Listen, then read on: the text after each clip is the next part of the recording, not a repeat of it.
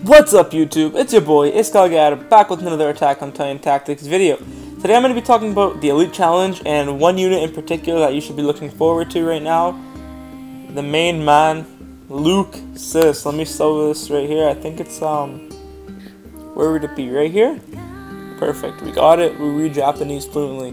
Now let's talk about the shop and you should purchase. Now Elgin, Krista, and Petra. Petra's a really good unit. Amazing leader skill, gives gold more damage.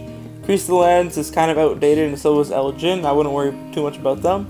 Nile Dok does extreme amounts of damage as an eye shooter, so he's always good to look after. But let's just go down. Let's just go down until we get Luke Cis. This man right here, this three-star beast.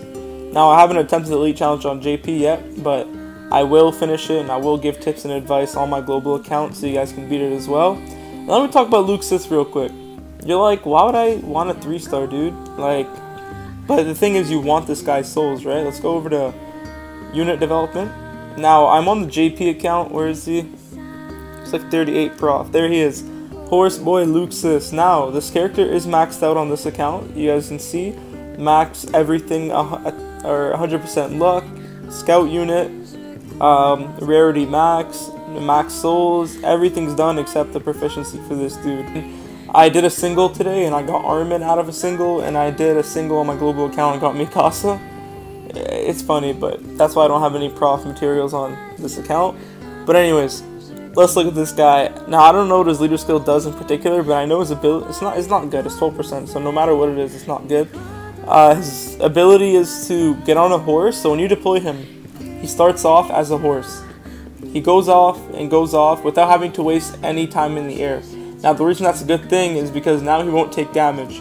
No damage is going to be taken while flying in the sky. Like you guys know this HP loss, where is it, 5%? That's not going to be afflicted to him because he's riding off on a horse. So get to the unit start slashing. He's 3 attack, like 3000 attack stat, pretty low HP, pretty low everything, alright?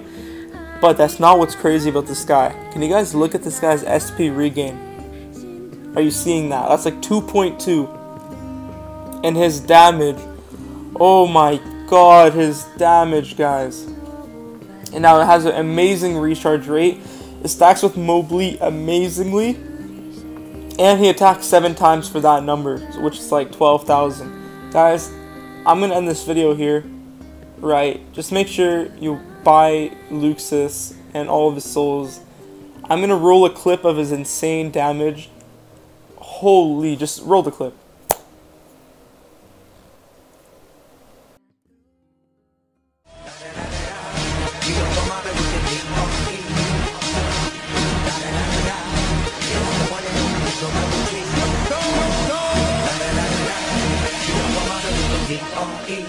Smoke weed every day.